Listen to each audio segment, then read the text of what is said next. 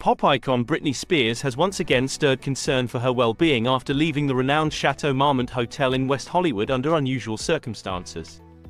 The 42-year-old singer was spotted late Wednesday night, wrapped in a blanket and clutching a pillow, as she exited the hotel premises.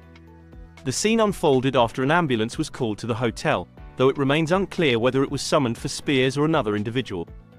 Witnesses observed Spears walking barefoot alongside her former housekeeper, Paul Richard Soliz, but she did not board the ambulance. A spokesperson for the Los Angeles Fire Department confirmed receiving a 911 call requesting aid for an injured adult female. However, details regarding the nature of the injury were not provided.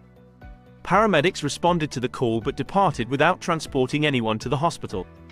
Following the incident, Spears took to social media to address the situation, initially posting and then deleting a photo seemingly contradicting reports of her departure from the hotel. Subsequently, she shared on Instagram that she had twisted her ankle the previous night, expressing frustration over the paramedics' response.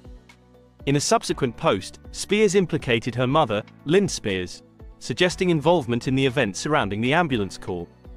Despite these claims, Spears reassured her followers that she is now safe and fine. The incident has reignited concerns about Spears' well-being, prompting speculation and renewed attention on her ongoing legal battles and personal struggles.